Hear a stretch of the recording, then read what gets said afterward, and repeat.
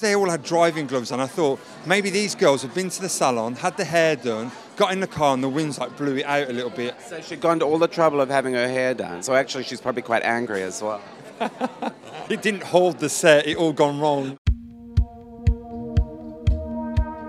I got very inspired by Modigliani, the painter.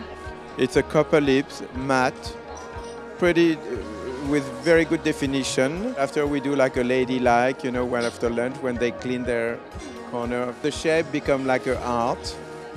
Consuelo Castiglioni strikes a perfect balance with her new collection for Marni between print and solid, between art and craft, and between need and want.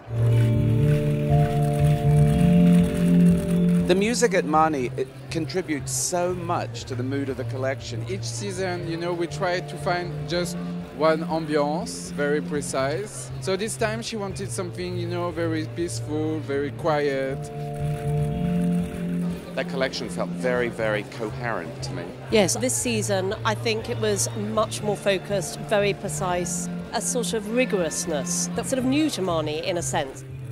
Well, that sack shape, which to me is always going to be a couture shape. Yes, I think so, and especially working with the furs, like with the mink, made new with a sort of neoprene fabric in the back, which just makes it look more modern and very structured.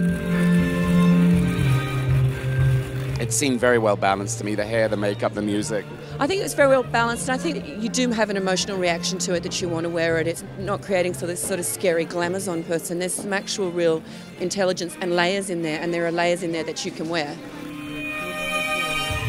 Usually at Marni, it's all about the prints, and this time we wanted it to be about the colours. They're quite Sonia Delaunay, aren't they? Well, we love Sonia Delaunay, but they were all chosen so that they slightly grated. I think it was a sort of twisted elegance.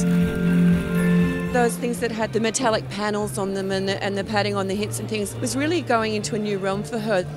Everything just worked back together so beautifully. You know, just when you think you know what Marni is, I think that went up a whole other notch.